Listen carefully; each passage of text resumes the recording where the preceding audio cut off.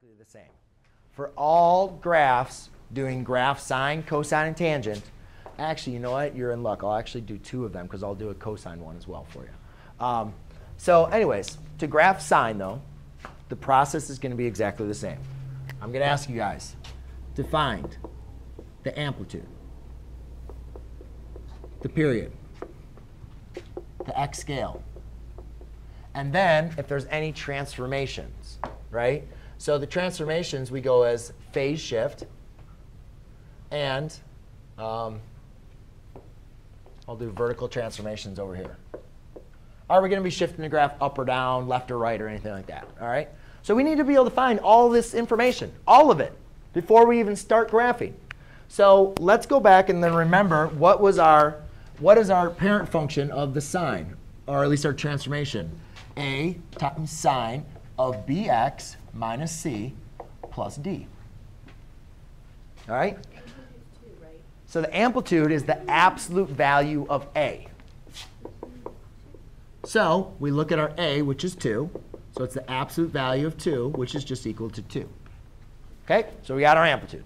That's going to be the half distance of the highest point and the lowest point of our graph.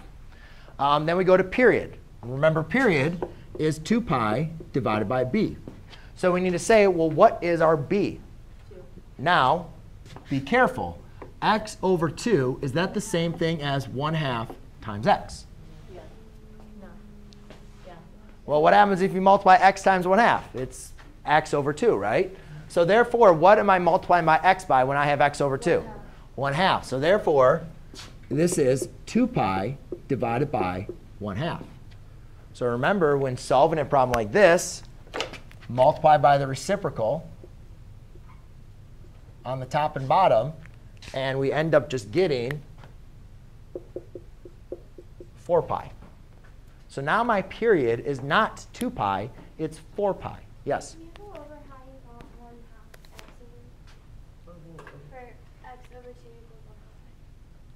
Well, if I was going to say 1 half times x, right? I could change x into a fraction, oh, I'm sorry, times x over 1, right? This is all the same thing. Multiply across, this is 1 times x over 2 times 1. Well, that just equals x over 2. So it's the exact same thing. It's just a different way to write it. Um, so now, so I know this is kind of a little tight in here, but does everybody see how I got 4x? Does anybody have questions on that? Or sorry, 4 pi. I know I kind of wrote in the type, but everybody understands? I'll write it out bigger. Never mind, I got it. Okay. Hello, Miss Michael. Um, I have a girl in my class right now who has a Unit 3 test. I don't know if you gave her a test. It's take home. Carla? Oh, yeah. No, she should not. Leah. She should not have a test for any reason. Yes, that would be great. Thank you very much. Um, so 2 pi divided by 1 half, and then we multiply by 2 over 1 times 2 over 1. That multiplies the 1, and we're just left with 4 pi. OK? Everybody go with that? All right. So now let's go to the x scale. The x scale is you take your period divided by, I'm sorry, you take your period and divide it by 4.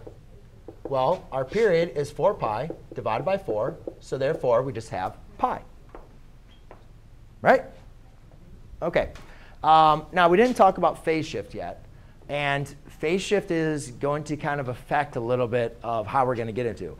I know a lot of you guys will say, oh, well, phase shift is going to be shift pi over 4, right? It makes sense. That's what we did before. But there's a couple things you guys need to understand about our phase shift. Our phase shift is affected by our period.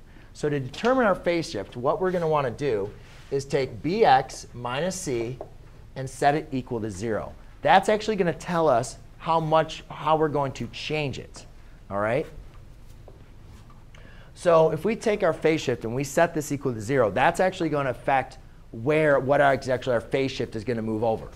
So what I'll do here is I'll take, uh, so I'll have x over 2 minus pi over 4 equals 0.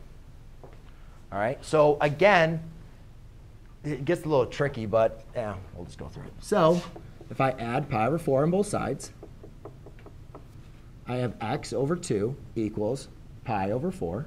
Then, to get have x over 2 to solve for that, I multiply by 2 on both sides. And therefore, I have x equals pi halves.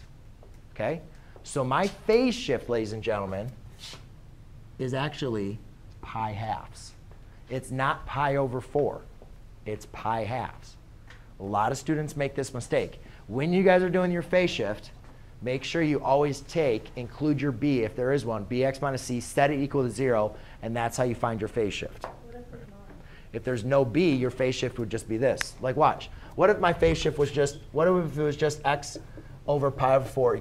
If it was just x minus pi over 4, well, what would the phase shift be? Just pi over 4, right? But when you have a b, since that affects your period, it affects your phase shift, okay? So look for that b. If there's a b, do not just assume it's pi, do not just think it's pi over 4. And then let's go over our vertical translation. Do we have any anything shifting up and down? No. Okay. So we can just write none. All right, so now let's go and graph this. And when you guys are graphing, what you're going to do is you're going to include two periods.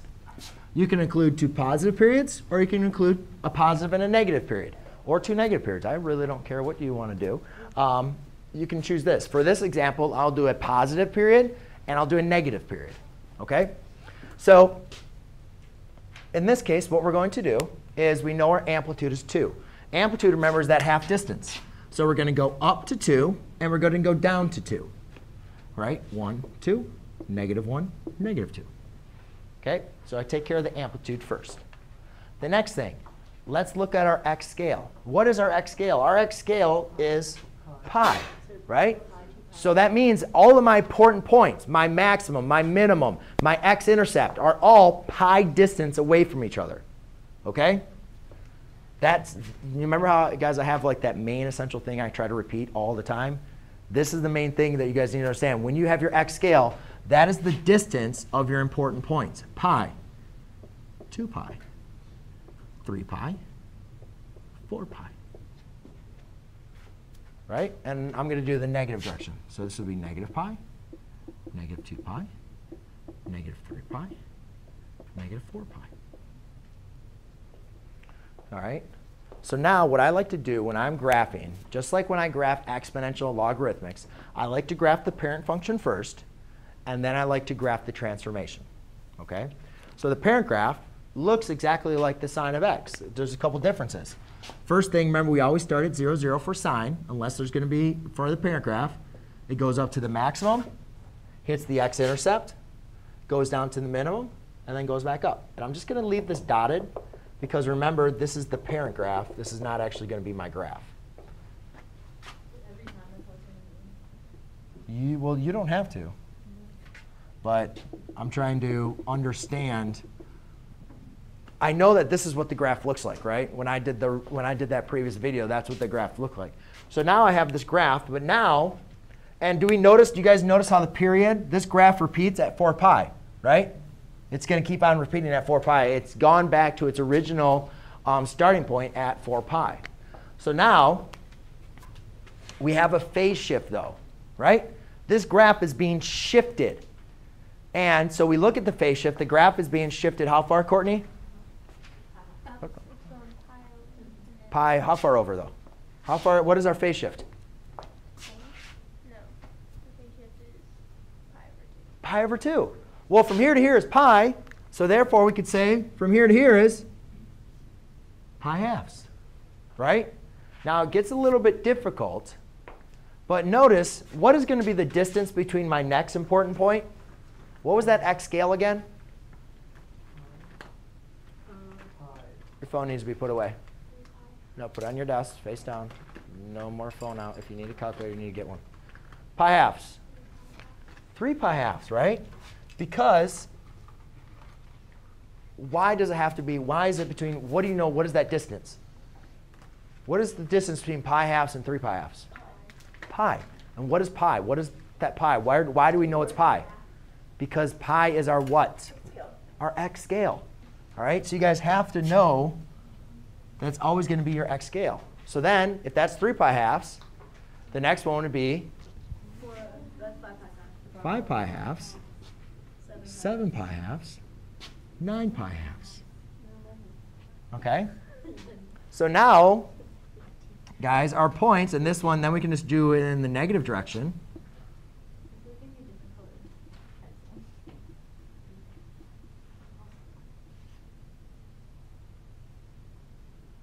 Okay? So now let's just go ahead and graph. So instead of at pi, I now have my point at pi halves. Instead of it intersecting at 2 pi, it now intersects at 3 pi. Instead of having the minimum at um, 3 pi, it now has the minimum at negative 5 pi over 2. And then it comes up, and then it goes, or crosses, and then it goes up.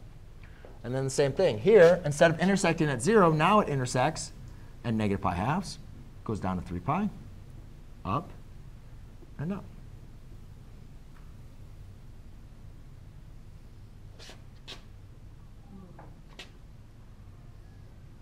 Okay? So there you go. That's how you graph it.